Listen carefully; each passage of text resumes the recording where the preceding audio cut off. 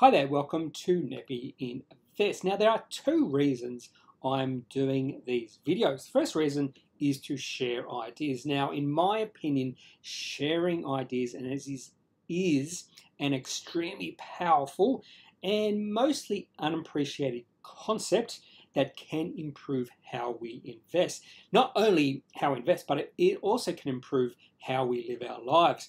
The second reason I'm doing this is a little bit more of a selfish reason, and it's because I am finding as I prepare these videos, I learn quite a bit about the companies I'm focusing on.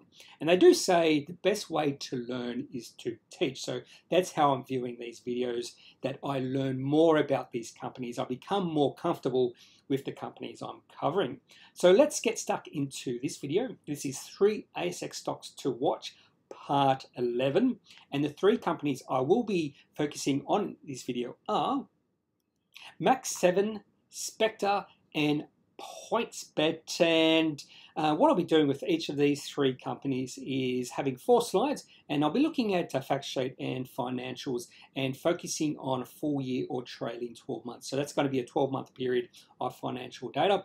Then I'll be looking at the operational cash flow, and with the operational cash flow, I'll be looking at the half year data for each of these three companies, and then looking at the receipts history simply because I do like to look at the trend in cash receipts, and I'll always like to see an upwards trend. Mostly be looking at the 4C with this one because I like to just break down uh, the receipts history into quarters, and then finally I'll be looking at the one year daily chart in all three of the companies.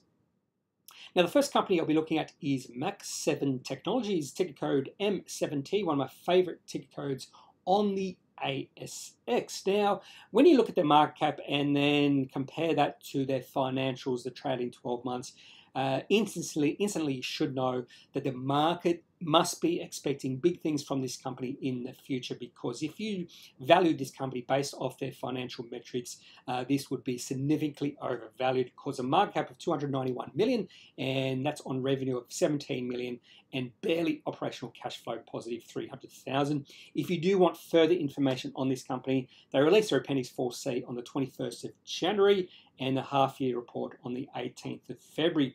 Now, off the top of my head, I could not tell you what this company does. I did a little bit of research on their website, and still what they do is very fuzzy in my mind. So, have a look at a little blurb I've just put there from their website. And if you do want further information, try to get some clarity about what they do, I highly recommend going to the website. So this is the cash flow from their half yearly report on February 18 and instantly there was two big red flags that popped up to me when I looked at this and that's in regards to receipts from customers and the trend there from the previous year and the fact that they went from being operational cash flow positive to negative in this half year. So receipts from customers went backwards from 8.3 million to 8 million. So those are big two red flags. I like to see the opposite. I like to see uptrends. So this is another case, another sort of proof that the market is expecting big things from this company in the future. The other thing that did pop out is they did do an acquisition which cost 42.2 million and they funded that acquisition through a capital raising 11.5 million dollar capital raising and cash. They did have 48 million dollars or 49 million dollars of cash on hand and now they've got 14.4. So I'm not sure when they did that acquisition but looks like it hasn't uh, really helped with their bottom line. And the one thing I would be questioning about this company, I don't know a lot about them at the moment, is whether they're acquiring businesses to grow the company or they do have some organic growth because I do prefer a company to grow organically over growing uh, through acquisitions. Uh, that's just my own preference. Um, but um, at this point in time, I'm not sure about this acquisition and how it's helped them on the bottom line. Now, uh, the one thing I really like to see is look at the receipts history trend over time. So I've got data going back to July 2015 for Mach7 Technologies, and you can see the uptrend is definitely there through that period, but you can see receipts is very lumpy, and that's not a bad thing. I would prefer, this is um, again my own preference, uh, for the trend to be more smooth. I don't like this lumpiness. You can see back in January 2018, they had $4 million in receipts, and then the next quarter they only had 1.1. And you can see even July 2020, they went to up to $6.6 million, and then their last two quarters actually quite a bit lower than that. Now, the compound quarterly growth rate since July 2015, uh, they've been growing their receipts at 20% per quarter. That's fairly good growth, but that growth uh, is based off the first quarter, which was very low. So it came off a very low base. So if I look back at the last 10 quarters, they've only been growing their receipts at 6.2%. And then if I look at the last five quarters, it's actually negative growth. But that's a little bit unfair on Mach7 because I did take, if you look at the past five quarters, uh, you go back five, and five quarters ago, they did have receipts of 4.7 million, which was their second best quarter in their history. And ever since then, uh, only one quarter's beaten that. So I'm comparing, uh, it's a bit unfair comparing those two quarters. So there is a bit of a trend upwards, but I would like, um, if I was a shareholder, I would like to see us a more significant uptrend in receipts moving forward because, or just because of the valuation of the company is quite rich for the financial metrics we are seeing here. And when we look at the chart, one year daily chart of Mach7, you can see how much the market is liking this company right now. Really nice developing uptrend from the lows of COVID 19 financial panic when the share price just got below 40 cents for a very brief period of time. And since then, the, the share price has run up quite a bit. And last time I looked, it was a dollar 24. See, each time we've had a little bit of a dip. We had that bit of a dip in late October. Share price got down to about 90 cents or so. That would have been the ideal point to buy when it hit that trend line. And it's right now right on that trend line. So right now could be a really uh, good time to buy Mach7 if you like this company. The second company I'll be looking at is a largely unloved company by the market. You can tell that by the market only $7.1 million. And for full disclosure purposes, I am a shareholder of this company. I decided to go take a bit of a punt on this company simply because their market cap was really low and I thought they could have been getting close to hitting an inflection point and that was becoming operational cash flow positive. positive and if they could sustain that this would be a very cheap company. So this is a developer of security, surveillance, and warning solutions. They also do shark monitoring solutions. I believe they've employed that in WA.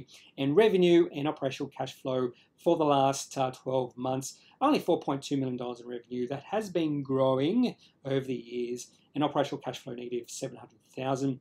And they released their Appendix 4C and half year report on the 25th of each respective month. So this is the cash flow for the half yearly released on February 25.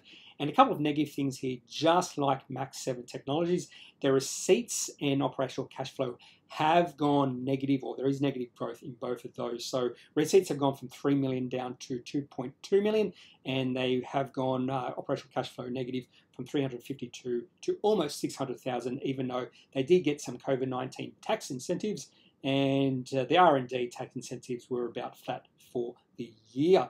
Not a, lot, not a lot else happened during the half year. Uh, they always seem to do a small capital raisings, and that was no different this last half year. $1.5 million in capital raising, and they do have $2.2 million of cash on hand.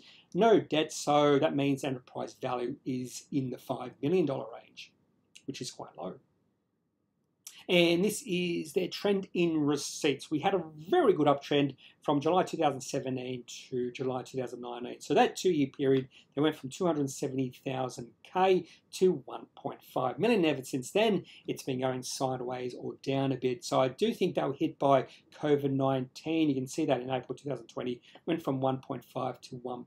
And you can see the compound quarterly growth rate since July 2017 is about 10.6%.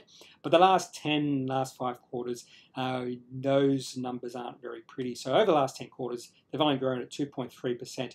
In the last five quarters, negative 6%. So again, this is a case where management need to show that they are earning the money and start to grow those receipts. And I do think there is that possibility because I think this company was affected by COVID 19.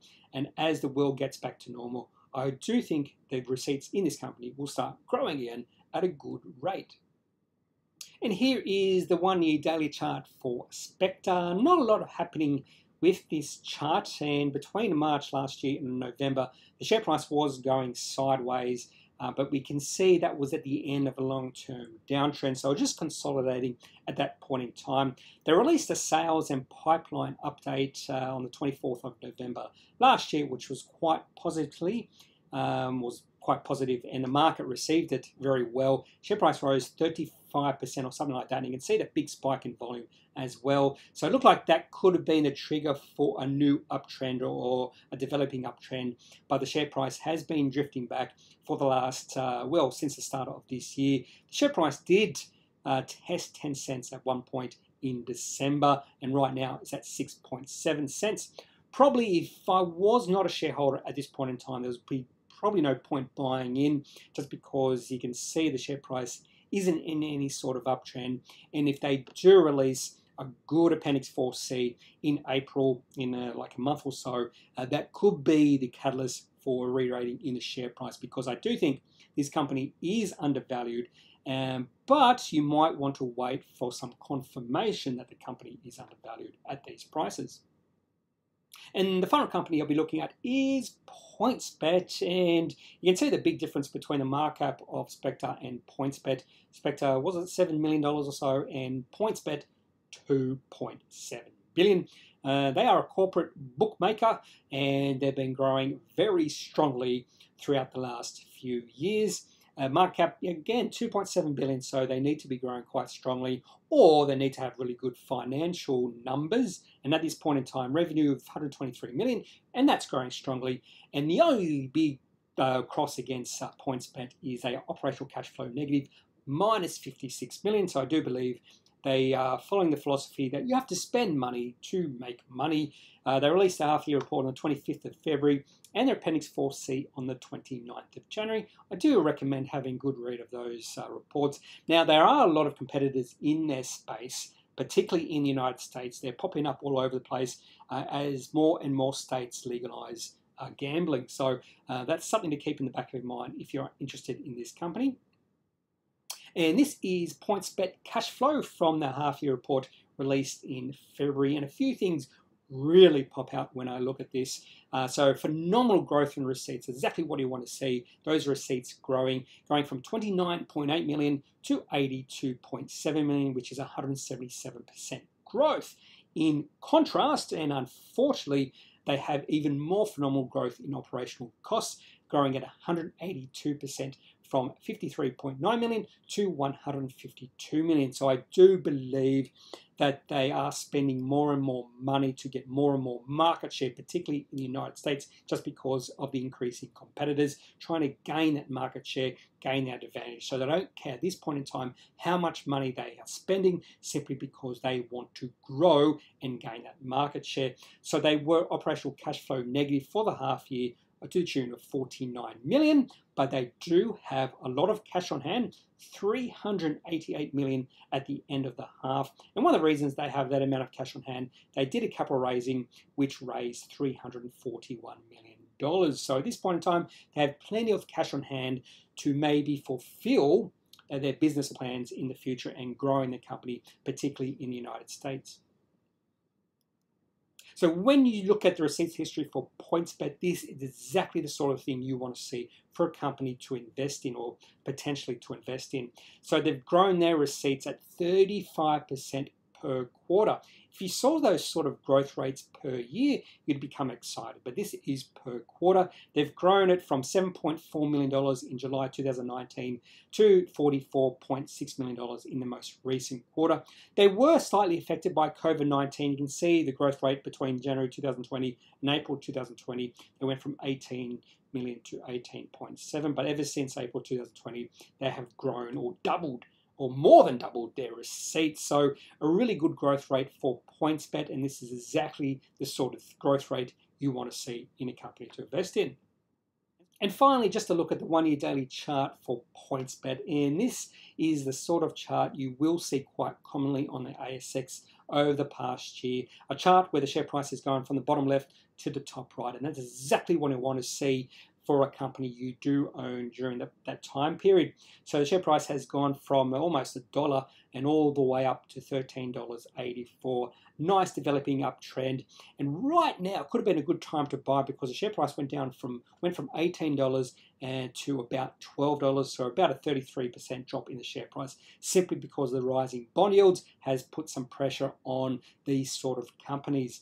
Now, at this point in time, uh, if you are a shareholder, there's no reason to sell because the uptrend hasn't been broken. Um, but just keep an eye on it because you don't know what's going to happen with rising bond yields. And if we do see those bond yields rise even further uh, over the next few months, that could put even more pressure on the PointsBet share price. But at this point in time, uh, no one really knows what's going to happen to those bond long-term bond yields. So just keep an eye on it.